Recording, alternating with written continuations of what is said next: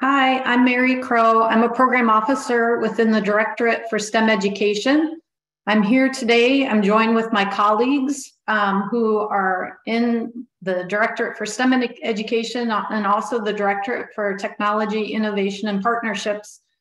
During this presentation, though, you're only going to see, hear, and see me. Uh, I'm going to be giving the presentation and the rest of my awesome team is going to be in the background.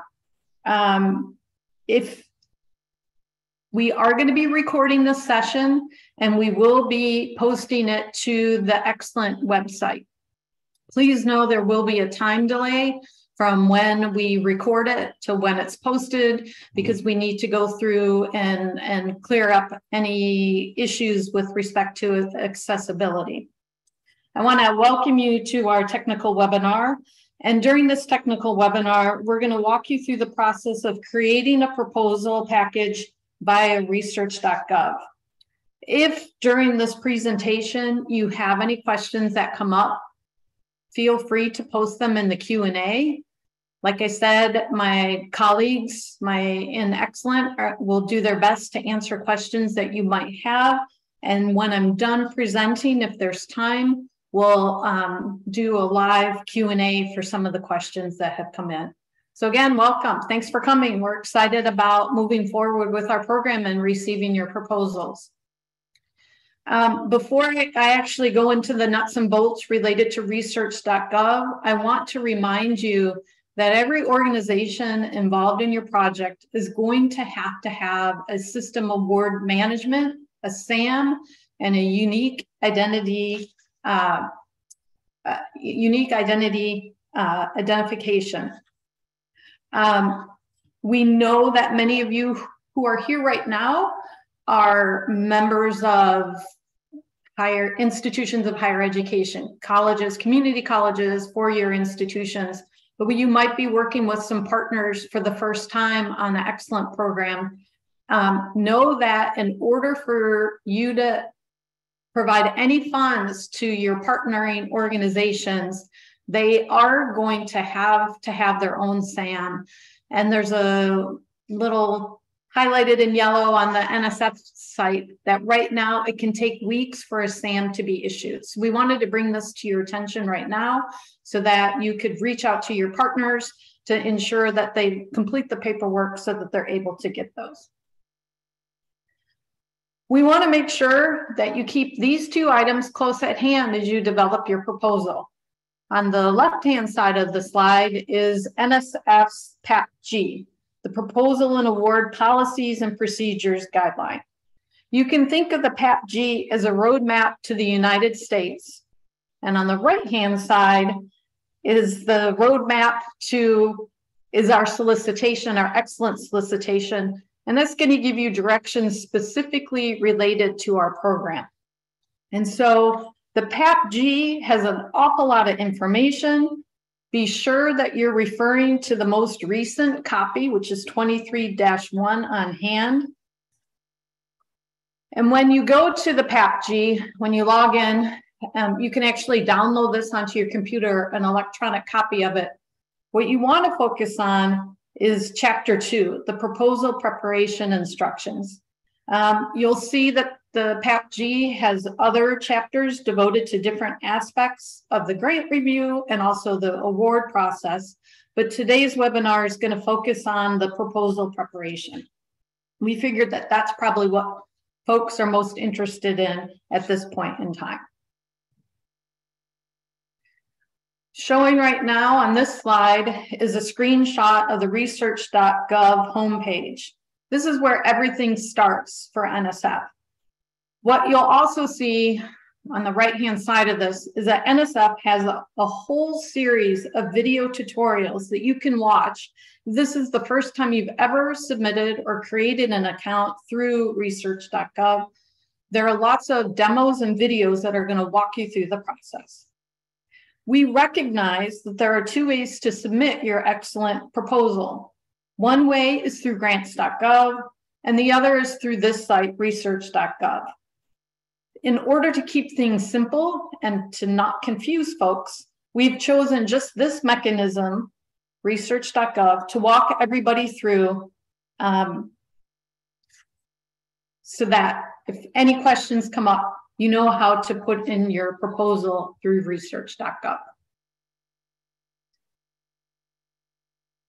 We're also assuming that anybody who's attended this, who's attending this webinar have already taken the steps to register for an InCommon so that you can indeed begin the process of creating a proposal. And again, as I said, many of the folks who've signed up to be here look like they're at institutions of higher education. And so your institution probably already has this information. But if they don't, know that if you're brand new to NSF and working in research.gov, you'll have to take this step first.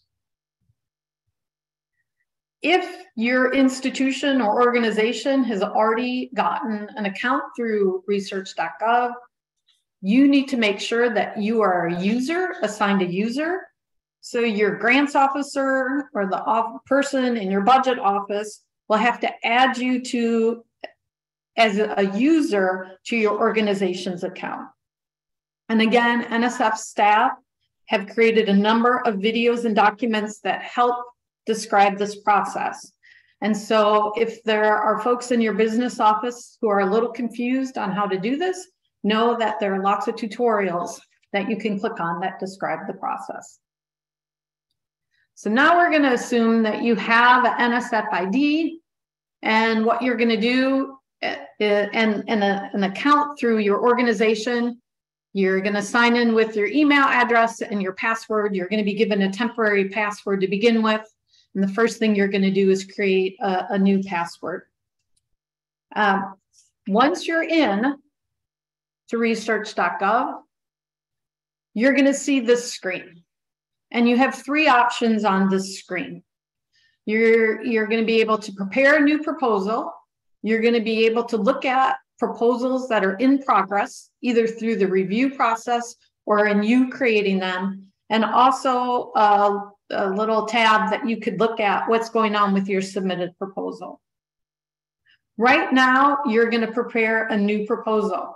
Please note, you do not have to finish your proposal all in one setting. That you can begin your, and it will likely take you a long time to put your proposal together. And the second time you log in, you'll click on this box in process instead of preparing a new proposal.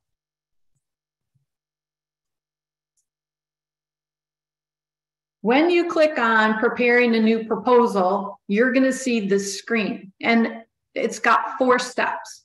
Identifying the funding opportunity, where to apply, the proposal type, and the proposal details. And what I'm going to do is I'm going to walk through each one of these steps. You'll notice when you first log in that there's going to be a whole long list, hundreds, thousands of NSF programs that you could apply to for funding. And what you want to make sure as you create your new proposal is that you've identified the ExLENT program as the program in which you're going to be submitting the proposal.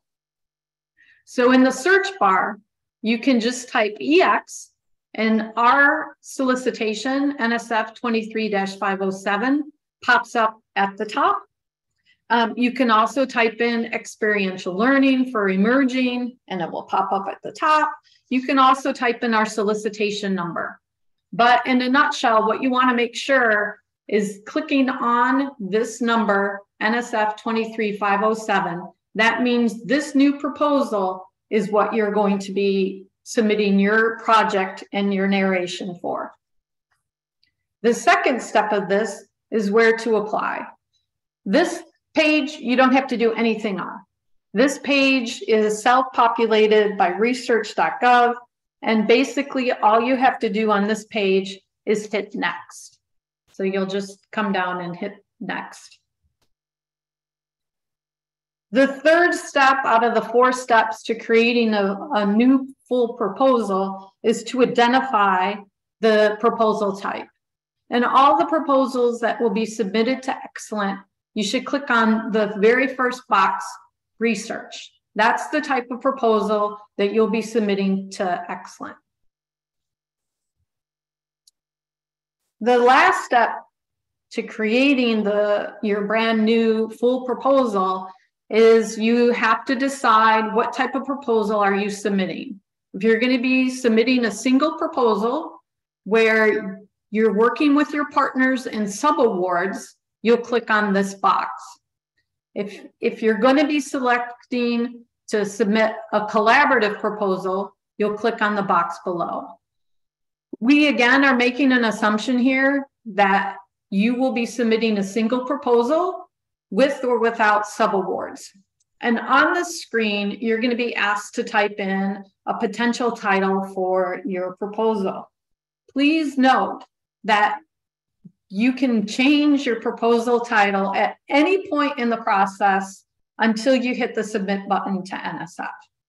And you'll notice I kind of made a mistake.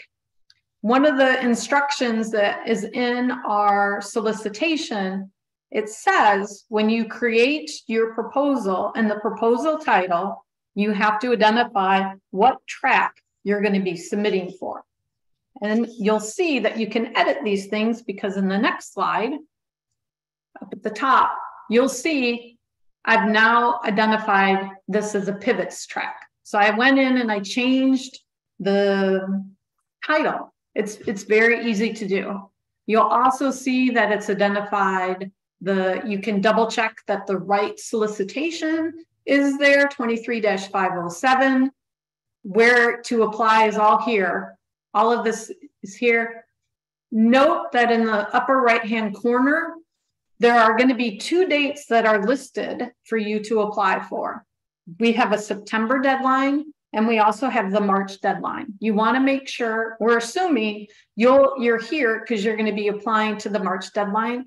So you're going to want to make sure you click on the March 2nd, 2023 deadline. Once you do that, what pops up is what your entire grant package looks like. And so these are all parts of the grant proposal. Um, there's also some instructions related to sharing your proposal with your business office or your sponsored research office. We'll talk a little bit about that. And then this little tab over here, initiate proposal submission. You won't be doing anything related to that. What we're going to do today is we're going to walk you through each part of the proposal package. Please note that in your proposal, for this proposal package, the reviewers are going to see all, everything that you submit. So it's not just the project summary and it's not just the project description. Everything that is part of your proposal package will be seen by reviewers. The first part of your proposal package is the cover sheet. And so we're, we're basically going to march our way down through the proposal package here. Most of the cover sheet is self-populated by information you provided elsewhere in research.gov. So once you complete your budget, that will be uploaded into the cover page. You saw I already created a title that gets populated into your cover page. The solicitation number is automatically put in, as is your organization. There are a couple things that you'll need to enter in on the cover page. You'll have to enter a potential start date and the number of months in which you're requesting support. Please note that it can take up to six months for NSF to make a decision on your proposal. So you're not going to want to put in a start date of April or May if you're submitting to the March deadline. You, you won't hear back from NSF whether or not your proposal was funded that early. Please also note that the number of months can vary. The ExLENT solicitation says that you can ask for up to three years of funding, so 36 months of funding. But let's say your ExLENT proposal or your project is only two years. You would put 24 months there. You do not have to ask for three years of funding. We anticipate many of you will, but we wanted to let you know that you don't necessarily have to. So that's the cover page. The next part of the proposal is your project summary. And this is up to one page in, in length. Remember when I said to have a copy of the solicitation handy? This is why I said to do so. This wording right here on this slide that talks about the project summary, that it consists of three parts, a project overview, a statement on the intellectual merit of the proposed activity, and a statement on the broader impacts of the proposed activity. That the first sentence of the overview must indicate the track of the ExLENT project being submitted, and that you need to describe the emerging technology field, the learning experiences to be implemented and evaluated, the project partners, a description of the intended participants, including the expected number of participants that will be supported. So this narrative that's found on this slide is actually found in the ExLENT solicitation. So we're giving you step-by-step -step instructions as to what you need to put in the different sections of your proposal. The project description, you can use up to 15 pages of narrative. Please note that we've asked for 10 different items, parts to your proposal, and you have just 15 pages. Um, it's up to you to determine how much narrative you use in each section. So we're not anticipating that section A will be a half a page and section B will have to be a half a page or section C will be a half a page. It's entirely up to you to use the 15 pages in the manner in which you need to use your narrative. Please also note that if you don't have any prior NSF support, you don't you won't have a section J in your proposal. The PAPG, that roadmap that I talked about earlier, has instructions on allowable fonts, what the margins need to be, single spacing, and other formatting requirements of every proposal. The solicitation, and I'm going to go into this in a minute, provides instructions about what reviewers will be expected to see on each of these, these sections. One note that I wanted to point out to you is when you're developing your project description, please do not put links where you're expecting reviewers to go to an outside website to find information. Many of our reviewers will actually print out the proposal package and read a hard copy of it. They will not click on links. Many of our proposals uh, reviewers who are reading an electronic copy of your proposal will also not click on those links. Everything that you need reviewers to know about your program needs to be found in the narrative, not on, not in an appendix and not in a link to another document.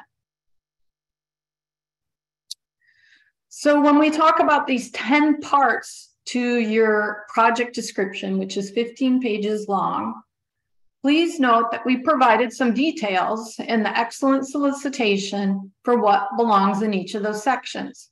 So for example, if you look at experiential learning activities, part B of your narrative, the solicitation says that the proposal should include how the activities will use proven practices to inform the design of the activities, immerse participants in those experiences, provide for career and self exploration, and result in participants developing the interests, motivation, skills, knowledge, and professional competencies to pursue a career in emerging technology field. So again, we provided you in the solicitation some pretty specific details of what reviewers are going to be expecting to see within your project description. Another example of this, and I'm not going to go through all of these, but I wanted to highlight just a couple so that you remember you're going to have to go back to your solicitation and in the solicitation, look for the details for what's expected in these different sections. So on partnerships, the proposal should include a collaboration plan that defines the vision and goals of the partnerships and that delineates the roles and responsibilities of those partnerships. Should provide a communication plan that and a general schedule that talks a little bit about how and when partners are going to communicate with each other. And then also tells us a little bit about what benefit the participants get from having all these different partners involved in your project. The third section of your proposal is a references cited section.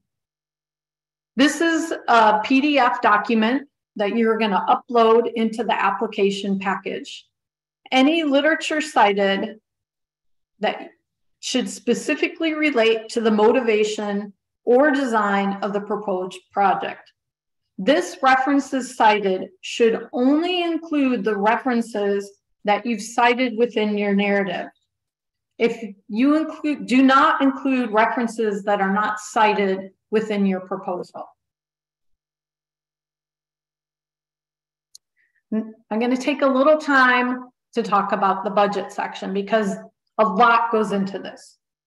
If this is the first time that you are creating a budget via research.gov, please, please, please take the time to click on this video on how to work on a proposed budget within NSF. Unlike other aspects of the proposal package, you will not be uploading a PDF. You will be directly inputting numbers into this form in the budget section of the proposal package. As a former PI and as a program officer, I am going to really encourage you to use Excel to create, tweak, and finalize your budget. Once this is done, you can then type in the numbers into this form that's found out research.gov. It's very cumbersome to play around with a budget in research.gov. If you're new to NSF, know that you can Google NSF budget template and a whole bunch of different Excel files will pop up from different organizations that will have Excel spreadsheets and workbooks that are formalized for NSF. You might want to download one of those onto your computer and use that as you start to play around with and uh, create your budget. we're making an assumption that you are going to have subawards. So if you're submitting a proposal and you're working with partners, and the ExLENT program expects that you will be working with partners, you are going to have some subawards associated with your budget. I am a rotating program officer, so this is why Florida Southern College shows up. This is my home institution. This subaward organization is just a hypothetical. It's just here to be used as an example. And again, I want to remind you that each partner that you're working with that is going to receive any of the NSF funds will be considered a subawardee and they must have a SAM slash UEI. Please also note that even though the budget for Florida State University is a subaward, you will be entering the information for the subawardees as well as yours. So it's not like a subawardee is going to have access to your proposal in Fastlane. They're going to provide you the information and then you're going to enter that in for them directly. In addition to your budget, you're going to have a budget justification. And what the budget justification is, is a short description of each line item. Please note that every budget that gets submitted, either through you, your organization, or the subawards, there's a budget and a budget justification for each. For example, let's say you wanted to provide your participants a stipend of $8,000. So in your proposal, you would have $8,000 listed as right up here, a stipend per participant. In the budget justification, which can be up to five pages long, you would say what this $8,000 is. So you might say our program is going to be our internship or co-op or whatever it is you're doing with your participants is going to be 10 weeks in duration and participants are going to be spending 40 hours a week.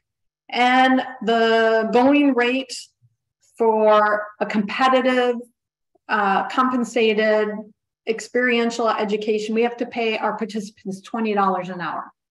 That's what you would put in your budget justification that describes each of these line items.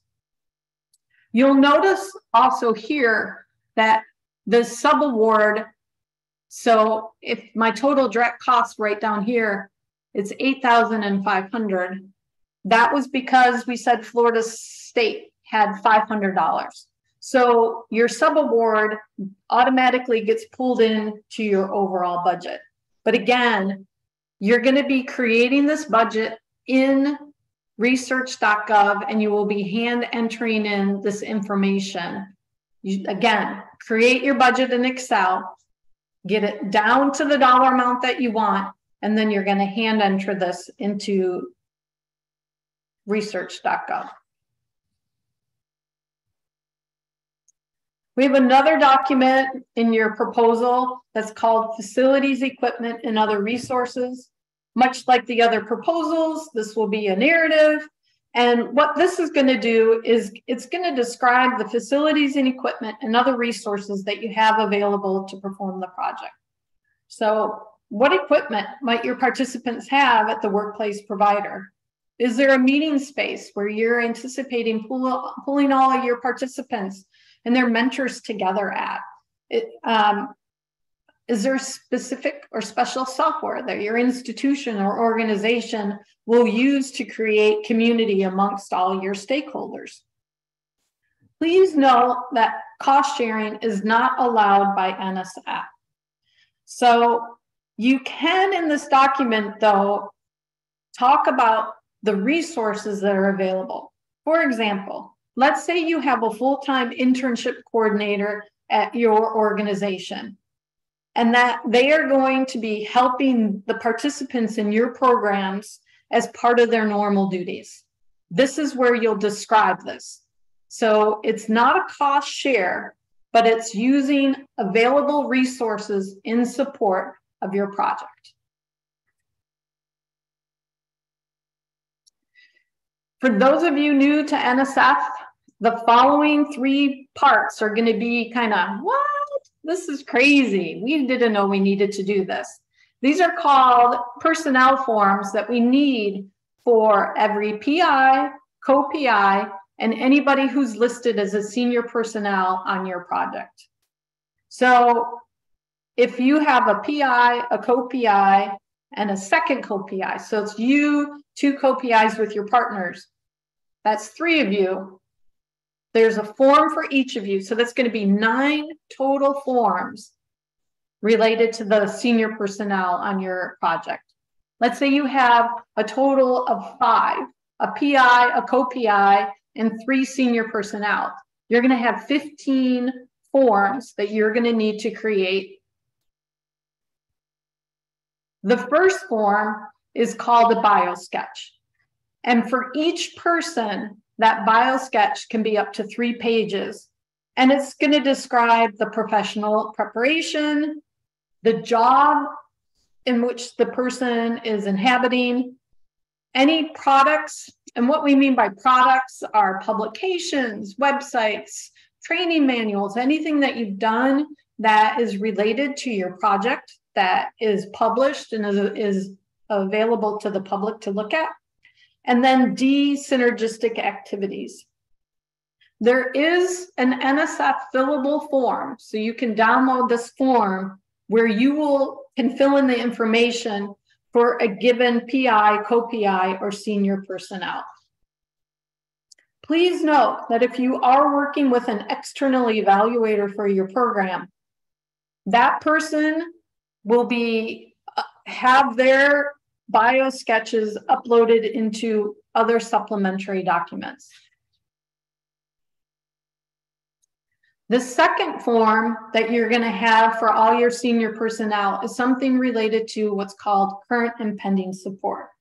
And again, this is a NSF fillable form that you can download through research.gov But in, in a nutshell, for every single grant that your person is involved in, whether it's a federal grant, a state, a local, um, or a private foundation, you're going to have to enter in this information.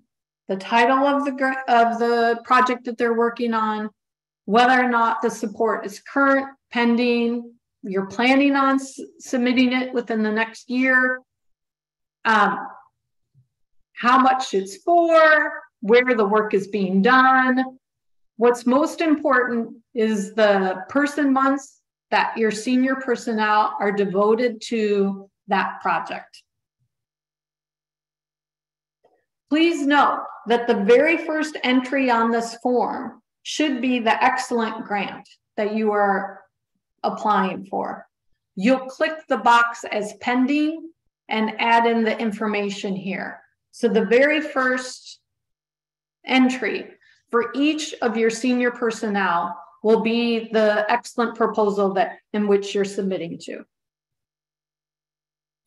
The third form that you'll be submitting for each senior personnel that's involved in your proposal is called collaborators and other affiliations.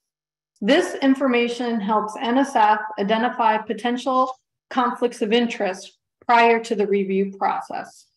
As you well know, or maybe you don't know, but you're going to find out, NSF relies on external reviewers as part of the review process. And we take conflicts of interest very, very seriously. You'll notice that this collaborators and other affiliator forms has five items for each of your senior personnel.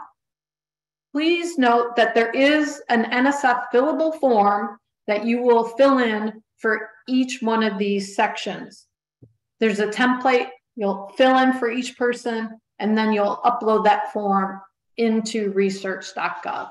But in a nutshell, it's going to be asking an individual's name, who they work for, um, whether or not they they have family or personal or business relationships with organizations that potentially could be a conflict. Um, if the senior personnel has received a PhD, you'll enter the information about the PhD advisor in that section. If they've advised students at, for PhDs themselves, that information will be on section three. If your senior personnel does not have a PhD, you'll leave this section of the form blank. Sorry, need to take a little sip.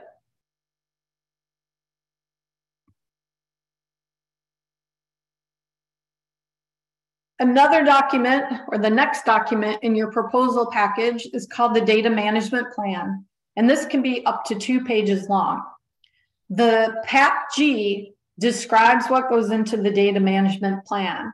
But in a nutshell, the data management plan needs to cover five different categories the types of data that uh, might be produced, the standards in which this data um, is going to be held, policies for sharing um, that data, including provisions for privacy, confidentiality, security, intellectual property rights, um, and other rights and requirements, how you're going to redistribute uh, any of this information, and then your plans for archiving samples and or other research projects so that folks can have access to them.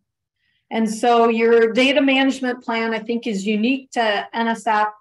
And again, these are the five categories of information that we're asking information about. You'll create a Word document, you'll talk a little bit about the data that's involved in your project, and you'll upload this to the research.gov as a PDF. There are two required supplementary documents for the ExLENT program.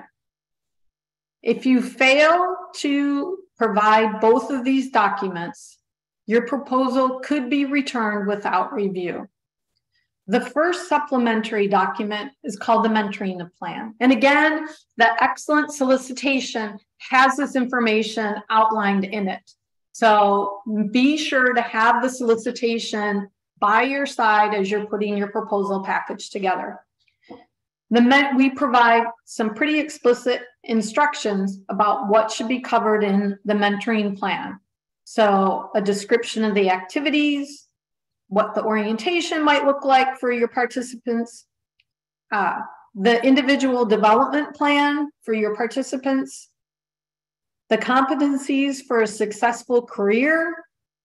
So how are you going to be mentoring folks with respect to teamwork and leadership and their own ability to, to formulate their career paths? And then we are expecting that participants in the program will have some one-on-one mentoring. And so we want to know a little bit about what that's going to look like. What when are they going to happen? Who's going to provide that? Um, again, these are the points that your mentoring plan should address. The second supplementary document that's required are the letters of collaboration. The PAPG provides some very specific guidelines to what's required in a letter of collaboration. In a nutshell, what we want you to do is indicate the partner's commitment and role in the proposed activities. So if one of your stakeholders or partners is providing mentoring, their letter of support or letter of collaboration should say, and we will be mentoring participants as described in the proposal. Please note that if you provide a letter of support that merely endorses the project, i.e., hey, this is a great idea. We've been trying to pull this together. We're so excited that this is happening in our community. Those are not allowed. And your proposal could be returned without review if you include any of those generalized letter of support.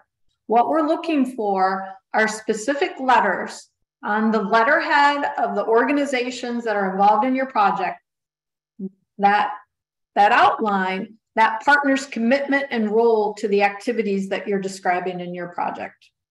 What you're going to do is you're going to save all of these letters into one file, save it as a PDF, and upload it in into a single PDF.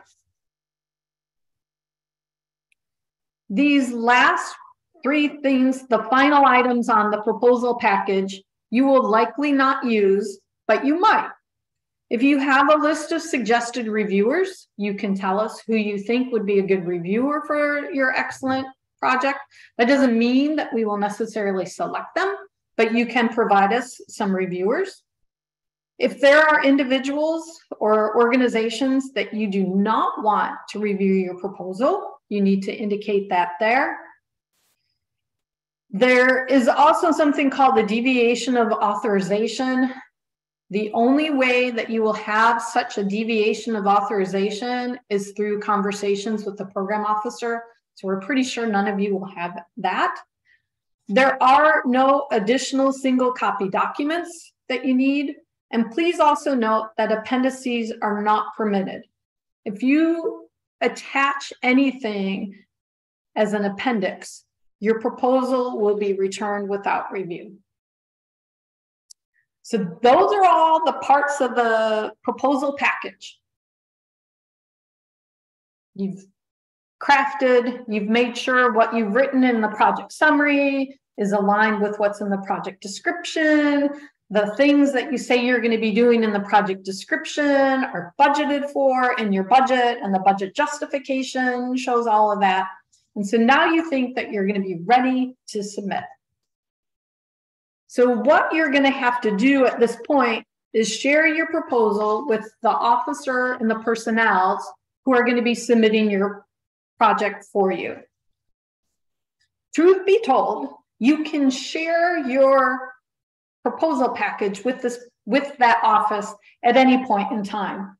And I'm going to show you a little bit about what happens when you go to share that document with them in a second. You will not be submitting the package. Somebody else at your organization will be going to. What happens when you go to submit your proposal is NSF's research.gov is awesome because it's going to run it through a compliance check. And it's going to highlight all the problems that you are wrong, all the things that are wrong with your proposal. So please, please, please do not wait until the last day to submit your proposal. So you'll notice on this slide that these are all the errors with the hypothetical proposal I created for this technical webinar.